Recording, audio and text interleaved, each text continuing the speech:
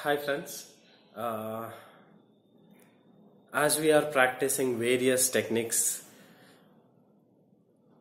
related to law of attraction, we need to have some basics about uh, how our brain generates various waves.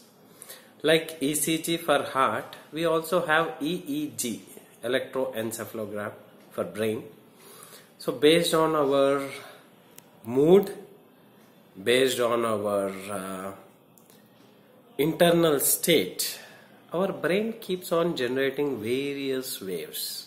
Like when you are in a very relaxed state, will be in alpha state when we are driving or operating any machinery when we really uh, need to have focus we are in beta state.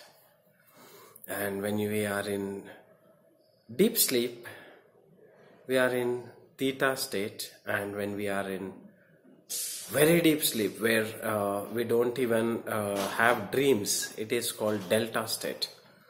So just before sleep and immediately after waking up, we are in deep alpha and we are agitative, anger, then we are in high beta state.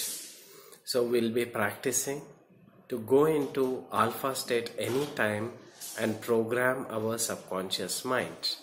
So how to program our subconscious mind? And what is subconscious mind all about? Stay tuned.